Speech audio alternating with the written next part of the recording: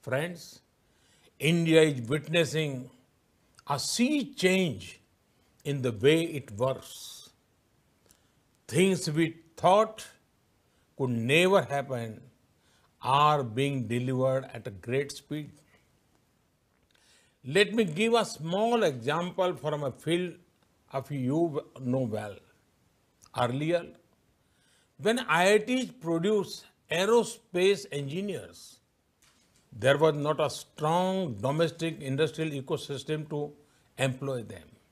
Today, with our historic reforms in the space sector, the last frontier before humanity has opened up to Indian talent. That is why new space tech startups are coming up every day in India.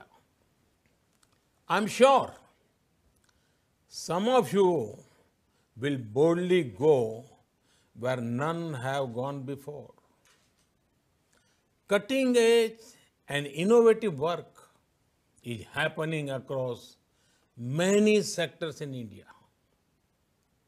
Ours is a government fully committed to the principle of reform, perform, transform. There is no sector left out from our reforms.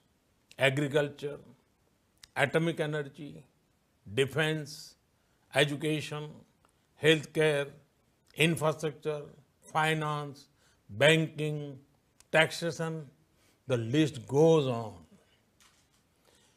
We have brought path-breaking reforms in the labor sector, assimilating 44 union labor laws into just four codes. Our corporate tax rate is one of the lowest in the world. A few weeks ago, the Indian cabinet cleared a path-breaking production-linked incentive scheme in 10 key sectors. This decision was taken to enhance export as well as manufacturing. The sectors include battery, electronics, pharma, automobiles, telecom, solar energy, and others. Each of these sectors is related to technology. These are opportunities waiting to be utilized. In these testing times of COVID-19, India has got record investment. Much of this investment has come in the tech sector. Clearly, the world sees India as a trustworthy and promising partner.